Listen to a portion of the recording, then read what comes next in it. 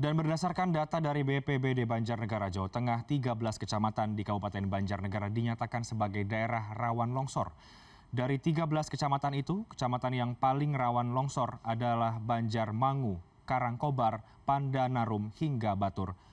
Dan daerah rawan longsor itu sebagian besar di wilayah Pegunungan Utara, di wilayah Pegunungan Selatan Banjarnegara, yakni Desa Kali Ajir, Kecamatan Purwonegoro. Kepala Badan Geologi Kementerian Energi dan Sumber Daya Mineral Surwono mengatakan Kabupaten Banjarnegara masuk dalam kategori daerah rawan merah atau rawan longsor. Lokasi tanah yang subur dan juga curah hujan yang tinggi menjadi salah satu penyebabnya. Wilayah dengan kategori merah akan selamanya rawan longsor.